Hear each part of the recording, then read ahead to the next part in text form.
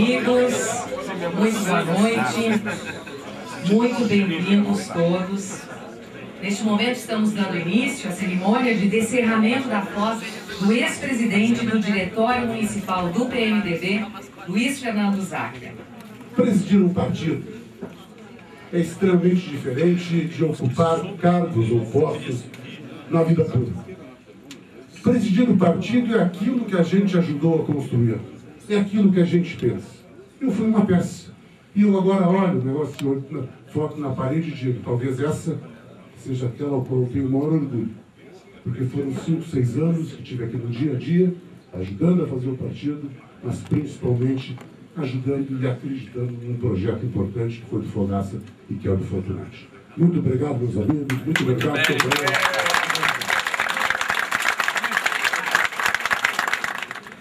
Frase um personagem do Shakespeare que eu gostaria que fosse minha, de que a vida é um assunto local.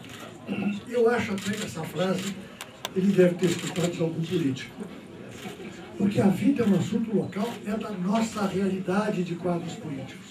Independentemente da nossa posição pessoal, da nossa projeção e, sobretudo, independentemente dos nossos sonhos e aspirações.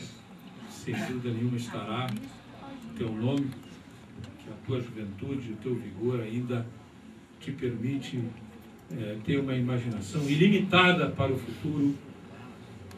É, tu que sabes colocar o teu projeto pessoal, que é legítimo, que é rigorosamente defensável, mas tu sabes colocar o teu projeto a serviço do coletivo, a serviço do partido, e isso te faz merecedor desta placa, desta homenagem, deste retrato. Muito obrigado a todos. Por isso estou aqui para te homenagear e dizer com muita tranquilidade, olho no olho, que esta é uma homenagem. Não para ser perdida no tempo, até porque se olharmos aqui as, as demais as fotos, Xerme virou prefeito de Santa Maria, o Melo virou depois dessa foto, né, Melo? Presidente muito competente da Câmara Municipal de Vereadores, aliás, uma competência que todo mundo reconhece Mendes Ribeiro é o atual líder da presidenta Dilma. Ou seja, então não é para ficar aqui como algo a ser esquecido. Na verdade, o prenúncio de novos tempos, de uma nova caminhada. Parabéns, que Deus continue te abençoando.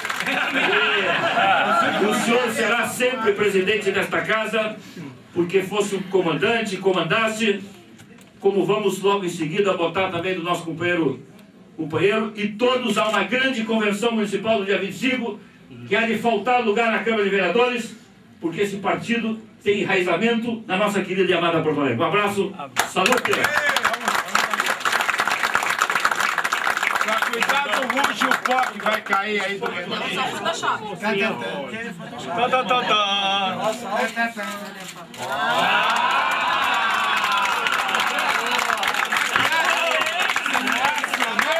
Alô, amigos, estamos começando mais um programa Ponto .net no outro endereço, não é no Box 21, lá do meu amigo Fernando Soares Brandão, e sim aqui na João Pessoa, na sede do PMDB de Porto Alegre. E ao meu lado está o meu amigo vereador Sebastião Melo, que é o presidente do PMDB de Porto Alegre. Vereador, a que, que se deve esse evento dessa noite? Bom, primeiro, vocês são todos bem-vindos aqui na nossa casa, né? Nós estamos aqui hoje num gesto singelo, mas muito afetuoso, descerrando a placa do presidente Isaac, que foi nosso presidente por um bom tempo. Né? Desde 2003, final de 2013, até agora, há poucos meses atrás. E, portanto, ele é um ato de afirmação ah, do partido com a cidade, porque eu acho que o PMDB tem responsabilidade enorme com, esse, com o país, com o Estado, mas especialmente aqui em Porto Alegre, porque estamos falando do partido em nível municipal. Nós lideramos uma, uma corrente vitoriosa na eleição de 2000, uh, 2008. É, o prefeito Fortunati sucedeu o José Fogaça, na medida em que Fogaça saiu para concorrer ao governo do Estado. É, portanto, o PMDB tem responsabilidade, faz parte do governo. Bom, e, e, nos orgulhamos das ações. Aliás, as mudanças que Porto Alegre é, tem ocorrido aqui, o PMDB faz parte delas. Eu podia citar, por exemplo, de que o centro histórico de Porto Alegre hoje é um outro centro, né? um centro popular de compras que foi implantado, é, um largo Grande Pérez que melhorou enormemente o seu entorno do mercado público, um chalé novo, uma praça da alfândega que está sendo totalmente remodelada e vamos coroar isso é, com um projeto sonhado no mínimo 20 anos que é o Cais do Porto. Se nós olharmos para a Zona Norte, nós vamos ver que a entrada da cidade é, faz com que várias pessoas venham a ter dignidade com as suas moradias. A Vila Dique Nazaré é uma realidade presente, onde aquelas famílias viviam precariamente, vão ter as suas casinhas. E a pista do aeroporto aumentada significa melhor economia para o Rio Grande do Sul, porque muitas das exportações hoje estão indo para o Paraná, porque a nossa, os, os, os aviões de peso não conseguem decolar daqui. A Chocolatão, é, ela é um, infelizmente é daquelas coisas de mais de 20 anos que estava encostada aqui ao lado da Receita Federal. Hoje aquelas famílias estão na Protásio Alves. Olha, o tratamento de esgoto da cidade, nós vamos chegar ao final de 2012 com quase 80%. Isso isso é quase primeiro mundo. E não é só no papel e na promessa, né? É na verdade. Não, não, isso é realidade, está aí.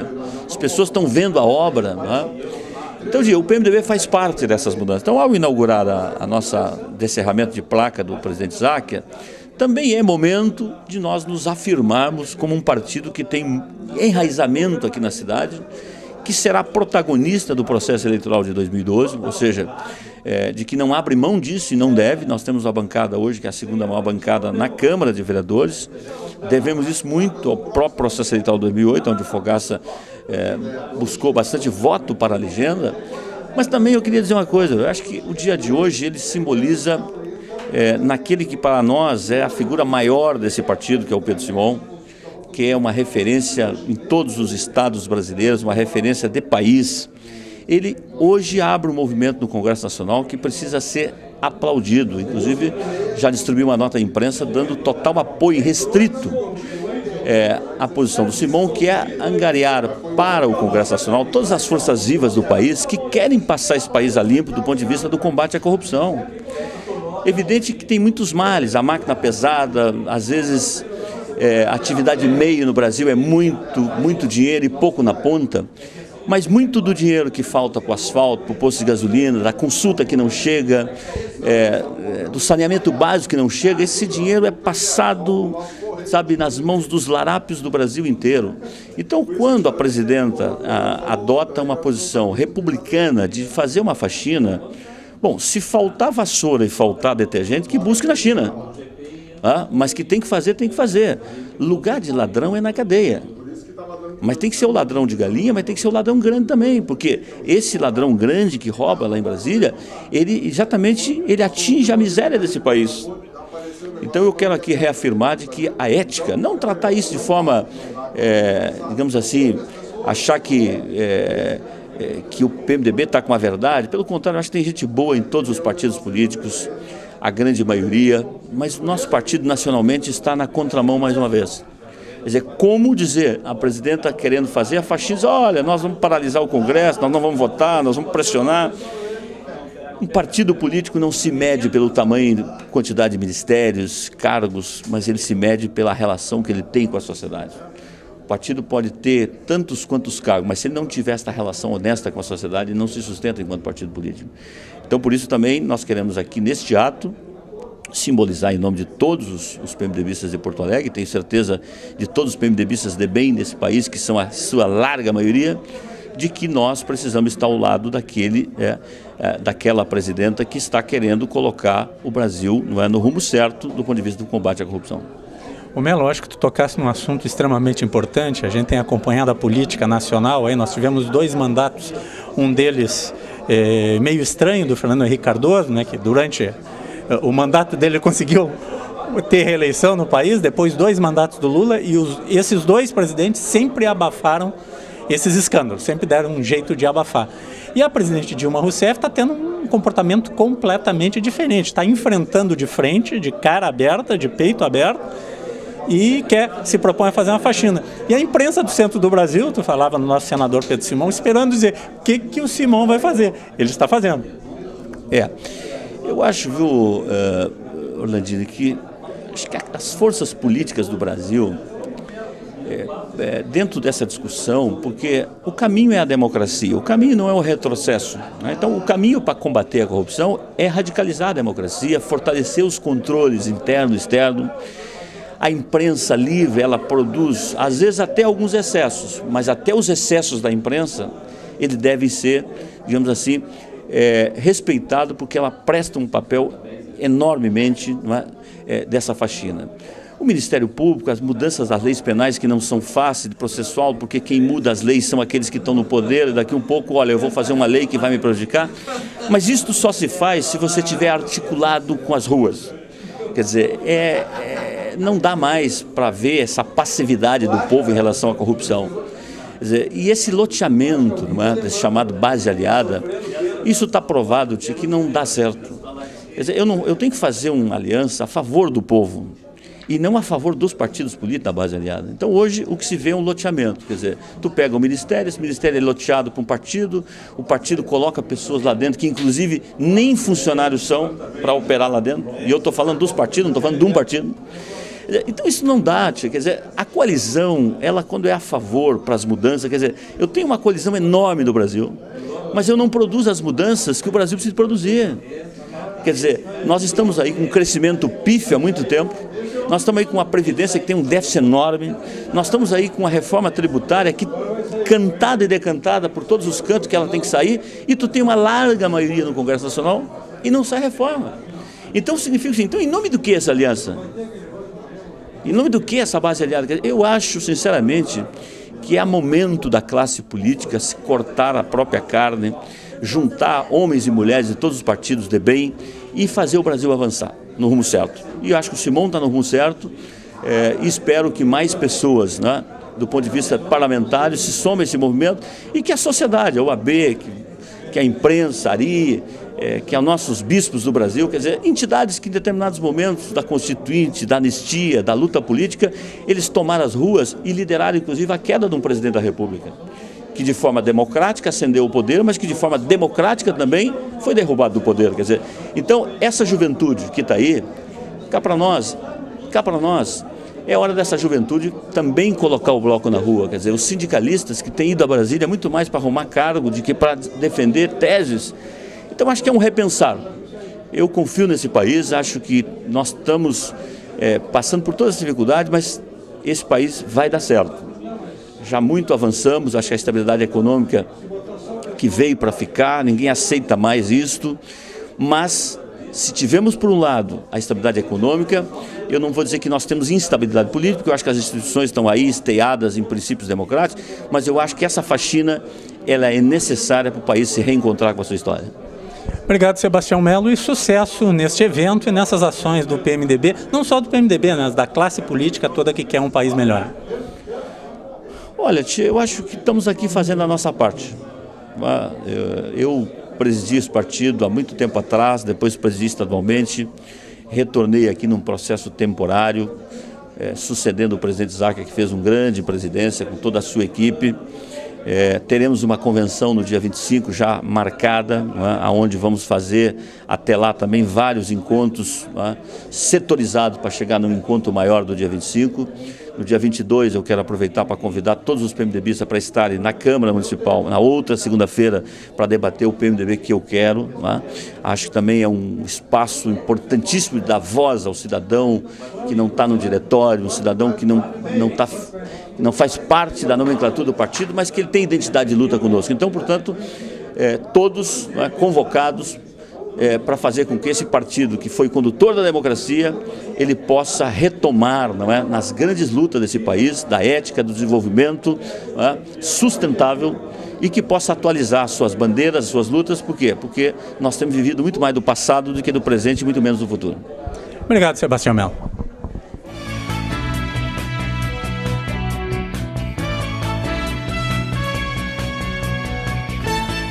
Venha conhecer o Box 21, um ambiente aconchegante onde o melhor da gastronomia espera por você. Saboreie o delicioso filé parmegiana e o sanduíche aberto Box 21. Conheça a bacalhoada, uma das tantas atrações do Box 21. Filés, peixes, vinhos, petiscos e, é claro, um chopp bem gelado. Ah, e tem sobremesas caseiras também. A melhor opção para o seu happy hour. Traga seus amigos. Venha com sua família. Box 21, Rua Carlos von Kozeritz 304 em Porto Alegre. Reservas pelo telefone 51 33 25 51 21.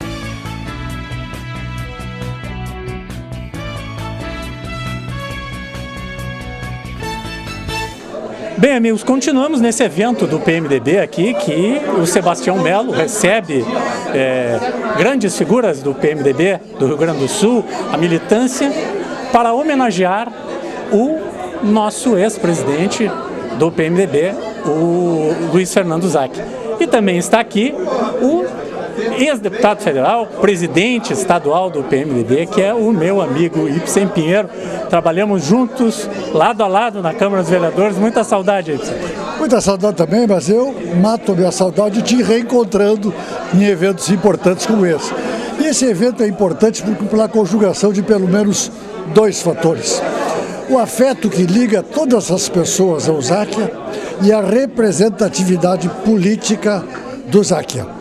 Então é uma reunião festiva e também cívica, no sentido de que o assunto que aqui existe é de interesse público e é também uma relação pessoal, afetiva, de grande significado. Por isso, a sede hoje, sob o comando do Melo, lotou, veio do prefeito ao militante mais simples e todos prestamos um tributo de homenagem ao Záquia que significa não uma combinância, mas sim um destaque na sua carreira política que certamente preverá no futuro muitos retratos em muitas paredes. É o que todos adivinhamos. Presidente Ibsen Pinheiro, participação hoje extremamente importante do prefeito José Fortunati. É, nós temos aqui em Porto Alegre mais do que uma parceria, temos uma irmandade que construímos com dois nomes e dois partidos e várias forças que se somaram. Fogaça Fortunati. Esta aliança ela teve a legitimação do voto e também a boa convivência, a harmonia entre o prefeito e o seu vice, a tal ponto que nós tivemos todas as vantagens da continuidade e nenhum dos vícios do continuismo e a continuidade se percebe numa administração que potencializa a sua própria herança. E aí estão os avanços construídos na cidade, porque concebidos lá atrás e executados com eficiência. Esta festa eh, pessoal, afetiva e também política teve também esse significado para Porto Alegre eh, e que indica para o nosso partido o caminho do protagonismo na próxima eleição municipal. Em termos que o futuro ditará como se farão eh, os gestos políticos, mas que o PMDB terá um papel protagônico no processo de 2012 em Porto Alegre, em todo o Rio Grande, isto é um compromisso da executiva estadual, como é um compromisso também da direção municipal. Ibsen Pinheiro, tu é uma figura histórica que fez parte de um momento difícil da política brasileira e que nós agimos com muita maturidade, que foi, é, que levou ao impeachment do ex-presidente Fernando Collor de Mello. Hoje nós vemos o país é, com todos esses problemas de denúncias de corrupção muito maiores do que um, uma elba, né, de tudo que aconteceu naquela época. E o senador Pedro Simão, no dia de hoje, segunda-feira, 15 de agosto de 2011, vai à tribuna do Senado e pede que a classe política apoie as ações de nossa presidente Dilma Rousseff nessa faxina nacional. Como é que tu vê isso aí? Olha, eu tenho dito nas manifestações que faço no cumprimento do roteiro partidário pelo interior que o presidente Fernando Henrique não fez o sucessor, mas tudo indica que fez um continuador, porque os avanços fundamentais do seu governo foram mantidos no governo seguinte. Do presidente Lula, talvez eu deva dizer o contrário, que ele fez o sucessor ou a sucessora, mas não sei se fez o continuador, porque algumas deformações graves do governo anterior estão sendo enfrentadas pela presidente Dilma. E este é um fato positivo, mereceu o registro que fez o senador Simon para as atitudes que está tomando em lateral apoio da nação e nós esperamos que ela possa contribuir para que isto seja o aperfeiçoamento da atividade política, que é o que todos queremos, porque fora da instituição democrática nenhuma solução se encontrará. Então é preciso que o combate à corrupção se faça para que ele seja um processo de aprimoramento das instituições e não seja como é algo da sua desapreciação. Então acredito que o que estamos vivendo é um momento importante para o país e que nós possamos superar estes episódios tristes e que sejamos eh, mais uma vez parceiros de um processo de fortalecimento democrático. O impeachment que você lembrou teve um traço que foi original na história do nosso país.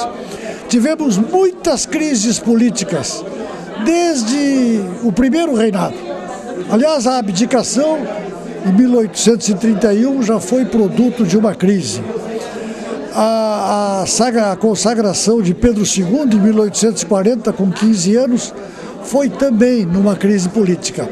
Mas pela primeira vez na República, o arbítrio, ou melhor dizendo, a arbitragem da crise foi do Poder Legislativo.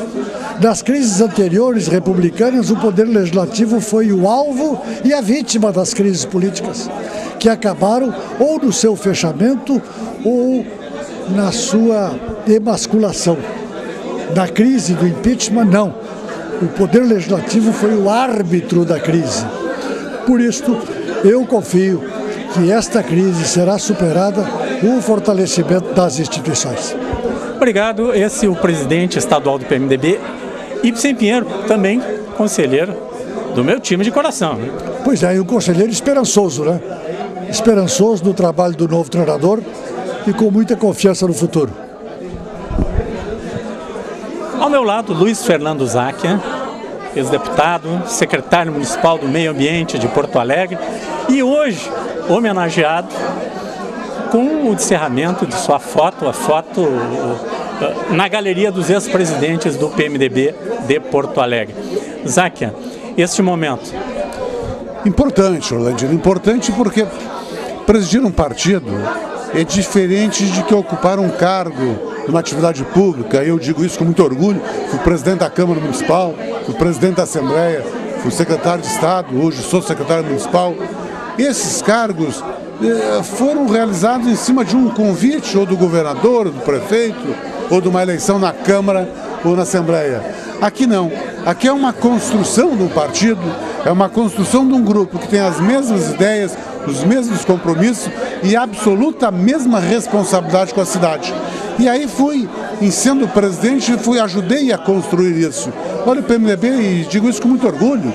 Assumi a presidência em 2003 e o PMDB cresceu e cresceu muito de lá até aqui por diversas razões, por diversos fatores, mas pela primeira vez o PMDB elegeu o prefeito na cidade de Porto Alegre, na eleição do José Fogaça. O PMDB hoje tem a segunda maior bancada da Câmara Municipal, a maior bancada dos últimos quase 15 anos do PMDB. Nós temos seis vereadores eh, na Câmara Municipal. O PMDB hoje está inserido na sociedade porto-alegrense em todos os segmentos, em todas as atividades, em todas as classes.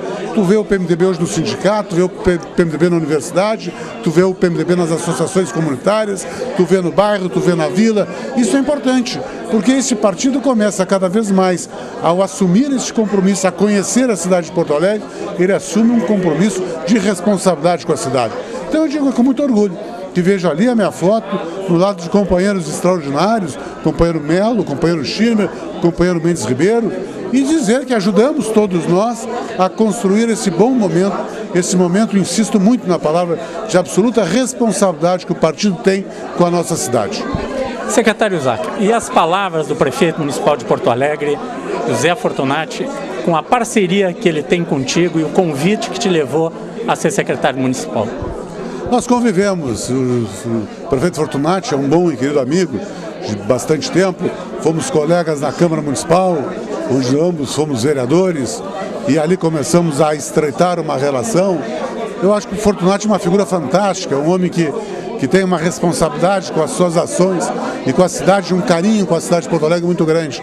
E isso criou uma identidade, é, criou um, uma, uma, uma parceria mútua de tanto eu como secretário municipal eh, convidado, que fui pelo Fortunati logo após o processo eleitoral do ano passado, e para mim tem sido um desafio muito bom, um desafio novo, um desafio extraordinário.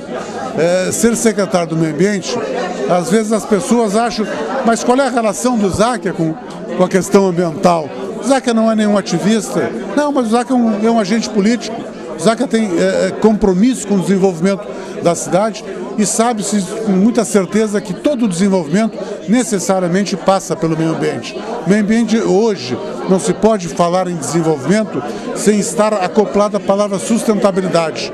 E isso se adquire através de uma política de meio ambiente. E sem dúvida alguma, o Fogaça assim o fez, o Fortunati da sequência, e eu quero. E felizmente estou, acho que fazendo lá na secretaria, faz, dando continuidade a isso. Aqui Porto Alegre tem o foco do desenvolvimento, mas com um compromisso de sustentabilidade, um compromisso de preservação ambiental absolutamente determinante. Mas que isso não impeça que Porto Alegre possa crescer, que isso não impeça que Porto Alegre gere cada vez mais o maior número possível de empregos, a condição de desenvolvimento, a condição de distribuição de renda. Isso se faz com desenvolvimento, isso se faz com sustentabilidade e esses têm sido, sem dúvida alguma, os maiores desafios que eu tenho encontrado lá na pasta do meio ambiente. Obrigado, Luiz Fernando Zacchia, e sucesso à frente da Secretaria Municipal do Meio Ambiente, uma secretaria estratégica para uma cidade que pretende ser um polo mundial em todos os sentidos. Né? Porto Alegre é conhecida em todo o mundo na área de tecnologia, na área de eventos internacionais, né? e tantas outras coisas. E também Porto Alegre é uma cidade que pensa o futuro, pensa o meio ambiente. E não tenha dúvida, e ela tem esse potencial e tem esta condição para isso. Ela, tá se, ela se preparou está cada vez mais se preparando para que isso ocorra, para que ela possa uh, uh, ser um polo tecnológico de ponta, e ela vai ser. Que ela possa cada vez mais estar preparada para que abrigar os, os melhores serviços e cada vez mais intensificar a qualificação desses serviços, preparar essa gente. Ela tem que estar preparada para isso. E sem dúvida alguma que isso também passa pela questão ambiental. Nós não podemos projetar, nós não podemos planejar o desenvolvimento se nós não tivermos focado na responsabilidade de termos um desenvolvimento sustentável, de termos um, um desenvolvimento que tenha respeito com a natureza, que preserve a natureza, que tenha o cuidado com o futuro da nossa cidade. E sem dúvida alguma, eh, a Secretaria do Meio Ambiente é um elo desta cadeia. Ela tem uma responsabilidade, ela tem uma importância e ela, sem dúvida alguma, vai e quer viabilizar para que isso ocorra. Obrigado, Záquia. Esse é o ponto. Ponto net.